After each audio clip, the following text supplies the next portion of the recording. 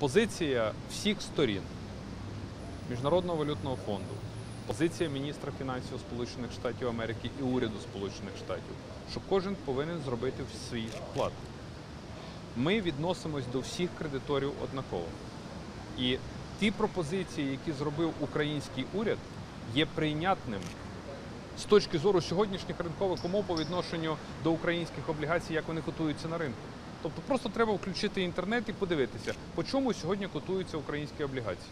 Ми запропонували умови, які відповідають ринковому рівню і ну, тому, що Україна знаходиться в тій ситуації, яку неможливо порівняти з жодною іншою державою. Україна знаходиться в стані війни з ядерною державою, яким є Росія.